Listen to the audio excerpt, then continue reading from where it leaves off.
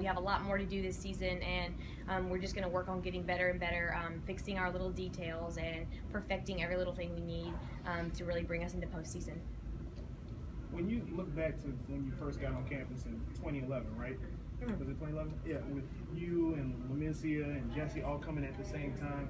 Could you ever imagine all of the things that you accomplished from undefeated SEC uh, regular season to potentially three straight Super Sixes and possibly even more?